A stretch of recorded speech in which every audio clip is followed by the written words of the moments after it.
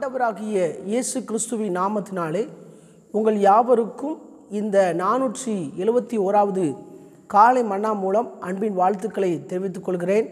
தேவனாகிய கர்த்தர் இந்த மூன்றாம் தேதி எட்டாவது மாதம் அதாவது ஒரு புதிய மாதத்தை காணும்படி கர்த்தர் கிருபை செய்திருக்கிறார். அதுவும் இது செவ்வாய்க்கிழமையில் வந்திருக்கிறோம். எல்லாம் தேவனுடைய கிருபையால் இந்த நாளில் பிரவேசிக்க கர்த்தர் செய்த கிருபைக்காக கர்த்தரை ஸ்தோத்தரிக்கிறேன். தொடர்ந்து இந்த நாளிலும் நாம் யாருக்காக ஜெபிக்க வேண்டும் என்று சொன்னால் மன அழுத்தத்தில் உள்ளவர்களுக்காக ஜெபிக்க வேண்டும். இன்றைக்கு அநேக மக்களை பார்க்கும்போது பணத்தை குறித்து என்னுடைய தேவைகளை எப்படி இந்த மாதம் சந்திக்கப்பட போகிறதுன்னு சொல்லி மன அழுத்தத்தில் இருக்கிறார்கள். அது மாத்திரம் இல்லாதபடி சிலர் பார்த்தீங்கன்னா கடன் பிரச்சனை சிலருடைய வாழ்க்கையில் குடும்ப பிரச்சனை சிலருடைய வாழ்க்கையில் குடும்பத்தினுடைய தலைவர் மதுபானத்துக்கு அடிமையாக இருப்பாங்க. சிலருடைய குடும்பத்தில் பார்க்கும்போது பிள்ளைங்க பெற்றோருக்கு கீழ்ப்படிய மாட்டாங்க. இருபத்தி நாலு மணி நேரம் பார்த்தீங்கன்னா தன்னுடைய கையில் இருக்கிற மொபைலை நோண்டிக்கிட்டு கேம் விளையாடிட்டு இருப்பாங்க. பெற்றோர் எவ்வளவு சத்தம் போட்டும் பிள்ளைங்க தன்னுடைய கண்ட்ரோலுக்கு கீழ்ப்படியாத சூழ்நிலை இருப்பாங்க. எனவே இதனால் பாதிக்கப்பட்டவர்களுக்காக நாம் ஜெபிக்க போகிறோம். இந்த நாளில் நீங்களும் ஒரு விதத்தில் ஏதோ ஒரு பாதிப்புக்குள்ளாக இருப்பீர்கள் சொன்னால் நீங்கள் இந்த நாளில் அந்த சூழ்நிலைக்காக ஜெபித்து பாருங்கள். தேவனாகி கருத்தை இன்றைக்கு உங்கள் வாழ்க்கையில் ஒரு அற்புதத்தை செய்வார். இந்த நாளிலும் இந்த காலை மன்ன ஆதாரத்துக்காக எடுத்துக்கொண்ட வேத வசனம் சங்கீதங்களின் புஸ்தகம் நூற்றி நாற்பத்தி ஏழாவது அதிகாரம் ஆறாவது வசனம்.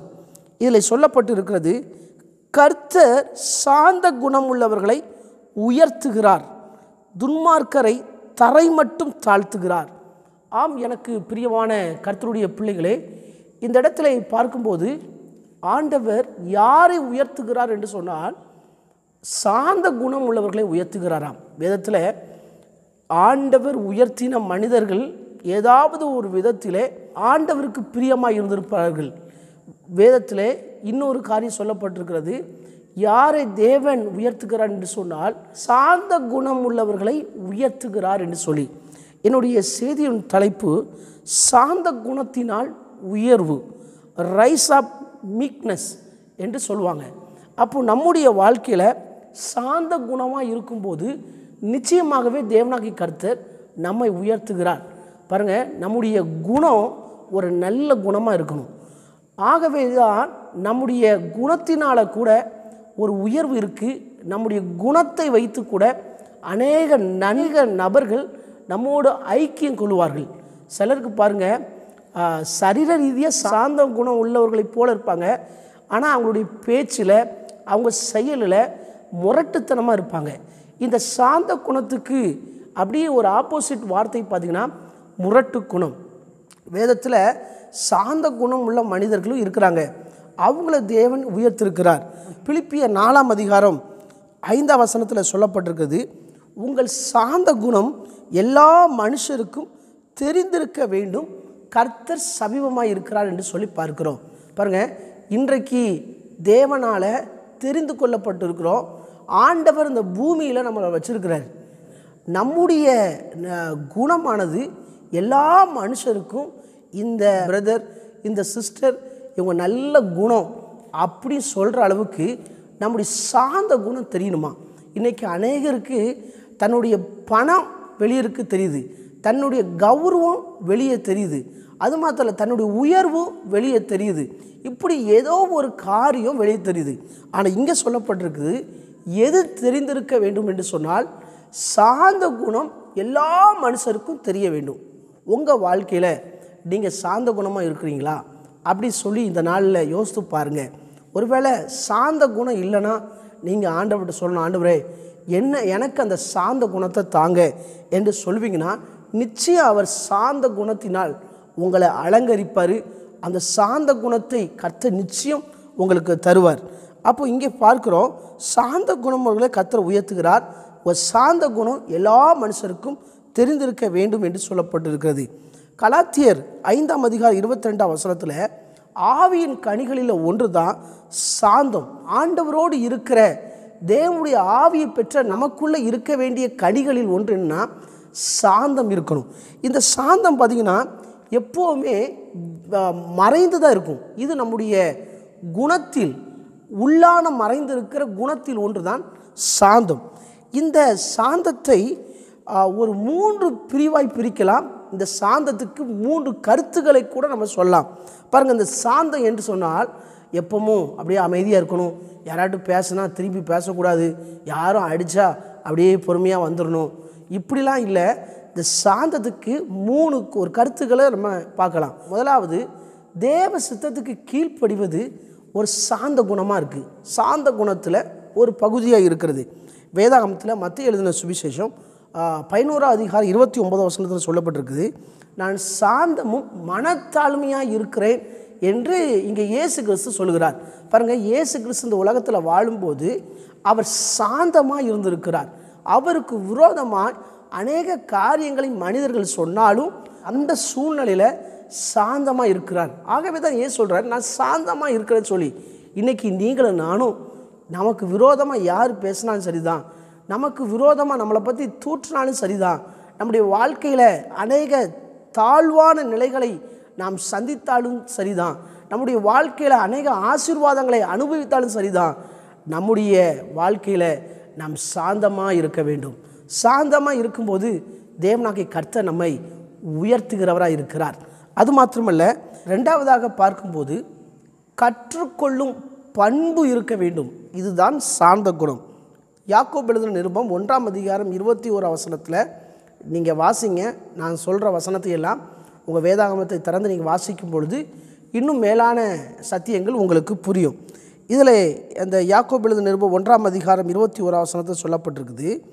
ஒரு மனுஷனுக்குரிய எல்லா விதமான அழுக்கையும் கொடிய துர்க்குணத்தையும் ஒழித்துவிட்டு உள்ளத்தில் நாட்டப்பட்டதாகிய உங்கள் ஆத்மாக்களை ரட்சிக்க வல்லமுள்ளதாக இருக்கிற வசனத்தை சாந்தமாக ஏற்றுக்கொள்ளுங்கள்.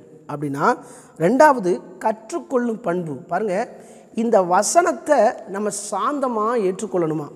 இதுதான் சாந்த குணத்துக்கு அர்த்தமாக இருக்கிறது. இன்றைக்கு அநேகருடைய வாழ்க்கையில் பாருங்கள் வசனத்தை கேட்பாங்க ஆனால் வசனத்தை ஏற்றுக்கொள்ள மாட்டாங்க. வசனம் அவங்க உள்ளத்தில் வேலை செய்யாது. சில நேரங்களில் நம்முடைய திருச்சபைகளில் ஒருவேளை நம்முடைய போதகரோ யாரோ ஒருவர் நம்மளுக்கு வசனத்தை போதிக்கும்போது நம்ம என்ன செய்வோன்னா இந்த வசனம் எனக்கெல்லாம் இல்லைங்க அப்படிலாம் சொல்லுவோம். அப்படிலாம் இல்லை. வேதத்தில் உள்ள ஒவ்வொரு வசனமும் அது நமக்குரிய வார்த்தை தான். எனவே நமக்கு இந்த கற்றுக்கொள்கிற பண்பு இருக்கணும். ஆண்டவர் எனக்கு தான் பேசுகிறார் அப்படின்னு சொல்லி ஒவ்வொரு வசனத்திலும் இது எனக்கு தான் பேசுகிறார் அப்படி சொல்லி இந்த எண்ணம் வேணும். சிலருக்கு பாருங்கள் தெரிந்த வசனத்தை பேசுவாங்க. இதுதான் எனக்கு தெரியுமே. அப்படின்னு சொல்லி ஒரு மாதிரி விட்டுருவாங்க. அப்படி இல்லை நீங்கள் சாந்தமாக இருக்கிறதுக்கு அடையாளம் என்னென்னா கற்றுக்கொள்கிற பண்பு இருக்கணும். மூன்றாவது பார்த்திங்கன்னா சாந்தமாக இருக்கிறதுக்கு அடையாளம் என்ன தெரியுமா? கரிசனையோடு இருப்பது தான் சாந்த குணமாக இருக்கிறது. பாருங்கள் கரிசனை என்றால் எல்லாவற்றையும் நாம் நிதானித்து அறிவது தான் ஒரு கரிசனையான சூழ்நிலையாக இருக்கிறது. எனவே நம்முடைய வாழ்க்கையில் இந்த மூன்று விஷயத்தில் நம்ம இதை கடைபிடிப்போம் இது நமக்குள்ளே இருக்கும் என்று சொன்னால் சாந்த குணம் இதில் தான் இருக்கிறது. வேதத்தில் ஒரு ரெண்டு மனிதர்கள் இருக்கிறாங்க. அவங்க சாந்தமாக இருந்திருக்கிறாங்க. என்னாகமோ பன்னெண்டாம் அதிகாரம் மூணாம் வசனத்தில் பார்க்கும்போது மோசையானவன் பூமியில் உள்ள சகல மனிதரிலும் மிகுந்த சாந்த குணம் உள்ளவனாக இருந்தானா பாருங்கள் மோசே பூமியில் உள்ள எல்லா மனிதரும் அதாவது சகல மனிதர்களையும் விட மிகுந்த சாந்த குணம் உள்ளவனாக இருந்தானா அதனால தான் மோசைய ஆண்டவர் இஸ்ரவேல் ஜனங்களை நடத்துவதற்கு ஒரு மெய்ப்பனாக கர்த்தர் பயன்படுத்தினார். இன்றைக்கு இதை பார்க்கிற அன்பு கர்த்தருடைய பிள்ளைகளே நீங்களும் நானும் சாந்த குணமாக இருக்கணும். நம்ம நம்மிடம் இருந்து அடிக்கடி கோபங்கள் வெளிப்படக்கூடாது. நம்மிடம் இருந்து இச்சையான காரியங்கள் வெளிப்படக்கூடாது. ஆண்டவருக்கு பிடிக்காத காரியத்தை நம்ம செய்வோம் என்று சொன்னனா நிச்சயமாக நம்ம உயர்த்தப்பட முடியாது. நம்ம உயர்த்தப்பட வேண்டும் என்று சொன்னால் இந்த சாந்த குணம் நமக்கு இருக்கணும். எப்படி மோசைக்கு அந்த சாந்த குணம் இருந்துச்சோ அதே போல் நம்முடைய வாழ்க்கையில் சாந்த குணம் இருக்கணும். ஒருவேளை சொல்லலாம் மோசை தான் கோவப்பட்டாரே அவர் ஒரு தடவை தான் கோவப்பட்டார். ஆனால் இன்றைக்கி நம்ம எத்தனை வாட்டி கோவப்படுறோம்? ஒரு நாளைக்கு ஒரு தடவை கோவப்பட்டாலும் முந்நூற்றி முந்நூற்றி அறுபத்தஞ்சி நாள் முந்நூற்றஞ்சு தடவை கோவப்படுறோம். எப்படி நமக்கு அந்த சாந்த குணம் நமக்கு வரும்? நீங்கள் இதை கடைபிடிக்க வேண்டும் இதை ப்ராக்டிஸ் பண்ண வேண்டும். மோசைக்கு விரோதமாக ஜனங்க முறுமுறுத்தாங்களாம். அந்த முறுமுறுக்கும் போது கூட மோசே தேவ சமூகத்தில் போய் ஆண்டவரிடம் ஜெபித்திருக்கிறார். ஆண்டவருடைய சமூகத்தில் விழுந்திருக்கிறார். ஆகவே தேவன் இன்னும் அவருக்கு சாந்த குணத்தை கொடுத்திருக்கிறார். உங்கள் வாழ்க்கையில் உங்களுக்கு விரோதமாக யார் என்ன பண்ண சரிதான்? இந்த சாந்த குணம் உங்களில் கிரியை செய்யணும். உங்கள்கிட்ட மறைஞ்சிருக்கிற இந்த குணமானது கிரியை செய்யும்போது தேவன் உங்களை உயர்த்துகிறார். அப்புறம் இன்னொரு வசனத்தை கூட நம்ம வாசிக்கும்போது அப்போஸ் நாகிய பவுலை பற்றி பார்க்குறோம். ரெண்டு குருந்தியர் பத்தாம் அதிகாரம் ஒன்றாம் வசனத்தில் உங்களுக்கு முன்பாக இருக்கும்போது தாழ்மையாயும் தூரத்திலே இருக்கும்போது உங்கள் மேல் கண்டிப்பாயும் இருக்கிற பவுலாகிய நான் கிறிஸ்துவின் சாந்தத்தையும் தயவையும் முன்னிட்டு உங்களுக்கு புத்தி சொல்கிறேன்.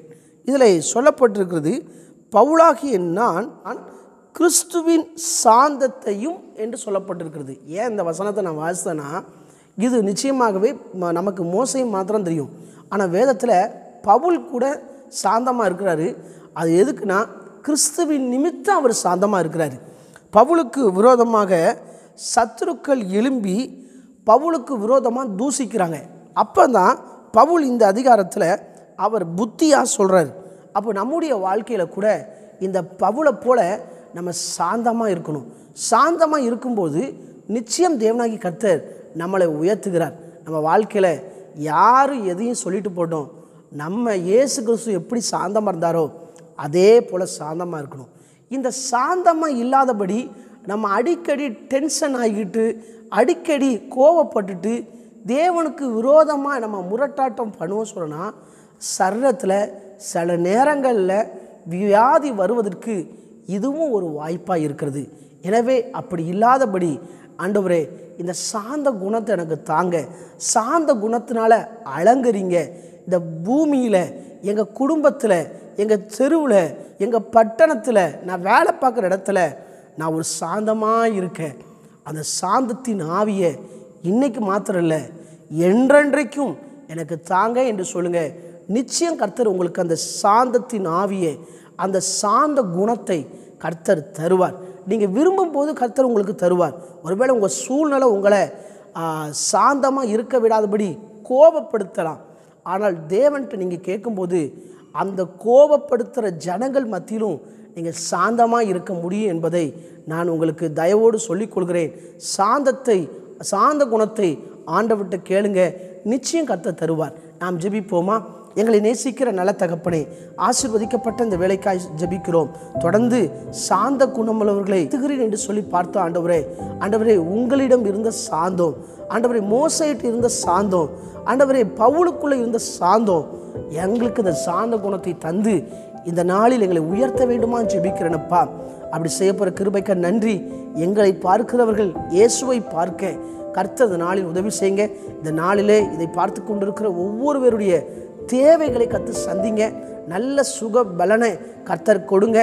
மனிதருடைய தயவை கொடுத்து அவங்களை வாழ வைப்பீராக ஜெபிக்கிறேன். ரட்சகர் இயேசுவின் மூலம் ஜெபிக்கலும் ஜீவனுள்ள நல்ல பிதாவே. ஆமே என் ஆத்துமாவே கத்திரை ஸ்தோத்ரி என் முழுலமே அவருடைய பசுத்த ராமத்தை ஸ்தோத்ரி என் ஆத்துமாவே கத்திரை ஸ்தோத்ரி கத்த செய்த சகல உபகரங்களை மறவாதே. ஆமை கத்தருக்கு சித்தமானால் மீண்டும் நாளை காலை ஒரு புதிய காலை மன்னாவோடு சந்திக்கிறேன். அதுவரை தேவ கிருபை தாங்குவதாக. ஆமை பிரைஸ்தலான்